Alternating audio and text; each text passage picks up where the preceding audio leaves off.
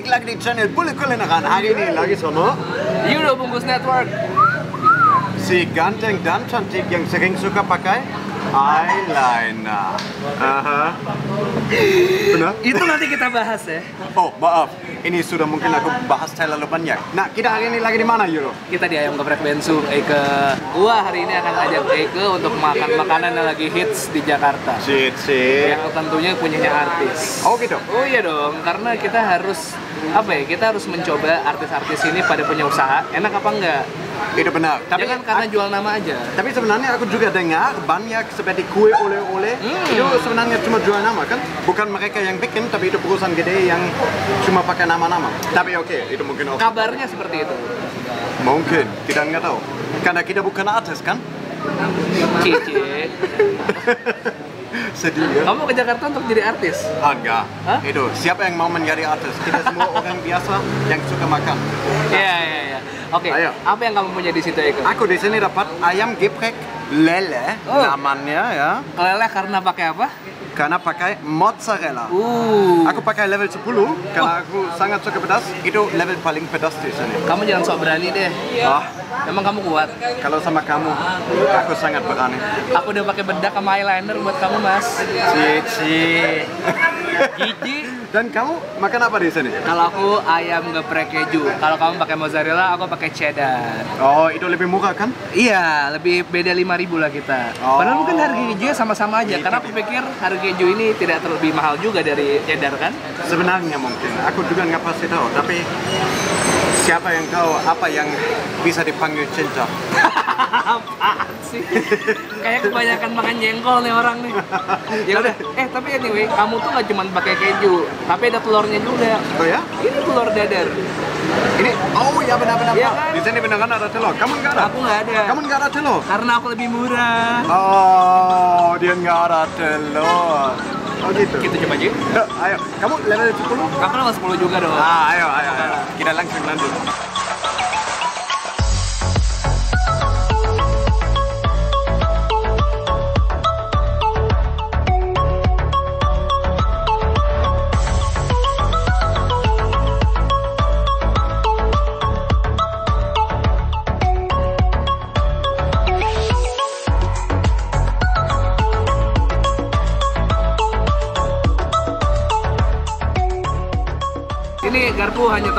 Aku pakai tangan. Ya, ya, boleh, boleh, boleh. Oke? Ini aku Wah. coba dengan garpu ini, tapi agak lucu. Udah kayaknya tanganku akan pedes nih. Hmm. Oke? Ayo. Pakai keju juga. Ayo. Hmm, enak banget. Hmm. Sangat enak. Hmm. Hmm.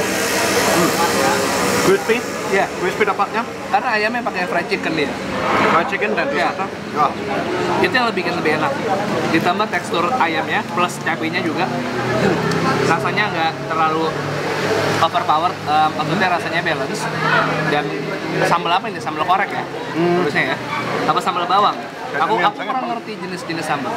Karena aku tidak bisa masak. Aku juga nggak bisa masak. Kamu bisa masak, tapi bukan sambal. Bukan sambal, belum pernah masak sambal ya. Nah, kamu harus bikin masak sambal di rumah. Idenya sangat bagus. Hmm. Kalau kalian ada resep untuk sambal yang enak, silakan langsung komen di bawah. Uh, pedas. Wah. Kamu biasanya suka makan pedas? Jarang-jarang. Hmm, jangan. Tapi Nah, kemarin aku juga bikin video sama Gilang, makan sampai kenyang. Dan video itu, wow, kalian harus nonton itu. Silakan nonton. dia makan sampai pingsan. Hampir mau pingsan dia. Wow, itu gila. Gila banget. Gilang, hati-hati lah Gilang. Jangan jangan gini lah. Kau harus hati-hati lah. Hati-hati dengan kesehatan. Betul sekali. Wah. Ini pedasnya oke ya? Mhm. Kemarin aku makan ayam kep abon dan itu sebenarnya konsep sangat mirip dengan ini kan, tapi tapi Apa yang berbeda? aku nggak tahu di situ juga ada telur, ada mozzarella, ada ayam. Tapi Kamu bedanya yang mana? sebenarnya aku pikir dua-duanya sangat enak. Dua-duanya punya sambal yang tidak pedas, tapi enak. Hmm, tapi sayang sekali namanya ayam geprek, ayam geprek biasanya pedas kan, tapi di sini cuma enak. Oh, ini mana pedas buat kamu? Kurang ya? Ini cuma enak kan? Kita bisa makan ini banyak. Hmm. Oke. Gaya banget nih bule ya. Kuat pedes deh. Kamu pedas? Ya lumayan lah. Ya. Kalah. Padahal pedas juga sih. Kita juga dapat jamu. Ayo. Ayo. Jamu crispy. Karena semua yang lain sudah habis tadi, tempe dan semua.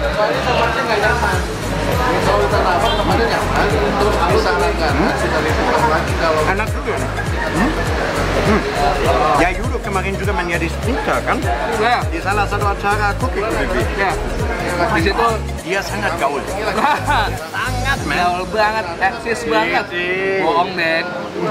Jadi kemarin aku mendapat kesempatan untuk sharing gimana memulai untuk food vlogging. Dan gimana? Ya, aku pikir semua orang bisa mulai food vlogging. Siapa pun bisa mulai food vlogging. Asalkan kamu punya niat. Jadi, awal aku vlogging aku hanya pakai handphone. Ya. Oh, Ya. sama. Kamu juga pun edit pakai handphone kan? Yap.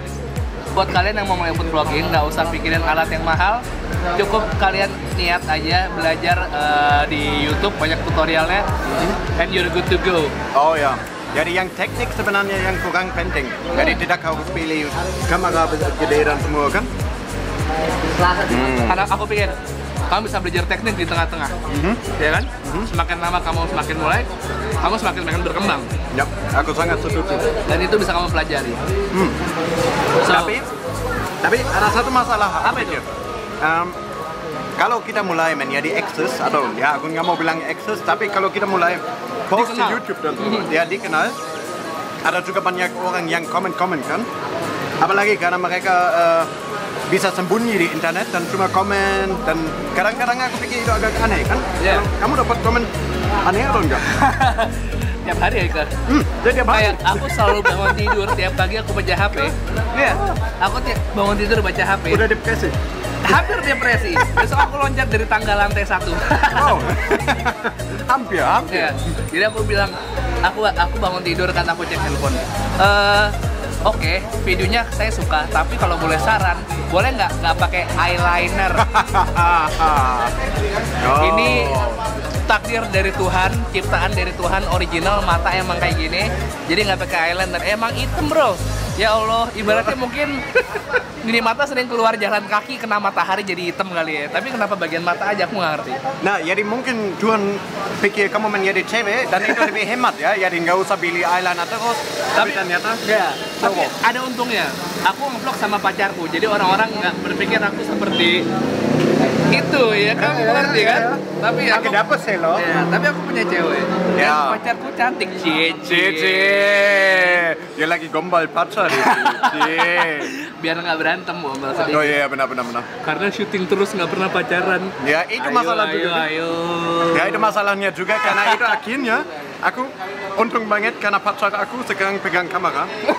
Dan itu bikin dia senang dan diam. Ya itu itu pindah juga kan. oh oh, sekarang aku bisa lihat dia menjadi marah. Ya. Tapi ya, itu masalahnya. Kalau kita suka vlogging, sering nggak ada waktu untuk. Betul. Tapi kan yang kita lakukan sekarang untuk menghasilkan pada masa depan. Hmm. Untuk menyenangkan pacar kita. Cici, ya. Pembelaan. Dia sangat benar dengan. Ya, dan sekarang pacarku di belakang kamera juga seperti, oh ya, benar, benar, benar. Ya, Jadi ya pacarnya Eke, kamu bisa mulai merencanakan kamu mau dibeliin apa sama Eke.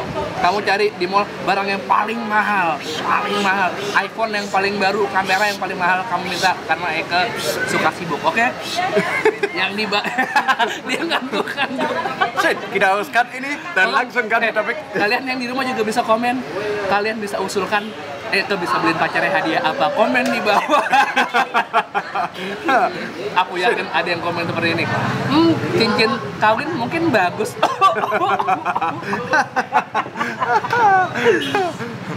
cut topik ini dan kita langsung lanjut dengan topik yang lain. Ya, kita eh, sebenarnya eh, ya topik apa ya? enak ya, enak ayamnya. Ya, ya, enak. Lama-lama nggak pedas deh ya? Ya ya. Nggak. Juga awal-awalnya nggak pedas. Mhm. Hmm. Hmm. Tapi enak banget ini. Wah, lihat ini. Wah, sambal. Hmm. Dan harganya cukup murah ya. Hmm. Hmm. Dua puluh ribu. 20 ribu, yang punya aku 25 ribu. Mhm. Wah. Dan Ya, aku masih ingat karena kamu bilang komen. Kita dulu kolab di eh, warung Abang Adek ya, yang mie paling pedas. Kalau kalian nonton video itu dan baca komen di bawah, ada banyak komen aneh tentang dia. Maaf ya. Apa? Apa dia aku, bilang? aku, aku nggak hapus semua yang aneh-aneh. Dia bilang apa? Oh, ada yang nggak tahu, kamu alay. dan eh, yang gitu. itu bukan aku yang bilang itu ya. Ya, aku nggak Eh, gitu. balasanku cuma satu. I love you all. I love you so much. Gitu. Kita ketemu lagi di video berikutnya di channel Bungkus Network. Aha. Silakan langsung check it out di video habis ini. Dan juga jangan lupa subscribe di channel Bungkus Network dan boleh kalian akan sebentar lagi ada baca di sini yang kalian bisa klik untuk subscribe like video ini dan juga jangan lupa check out Instagram. Boleh kalian akan oh, di sini dan Bungkus Network. Langsung follow sehingga dapat hampir daily update ya. Yes. Mantap. Oke guys. Seperti selalu, jangan sedih.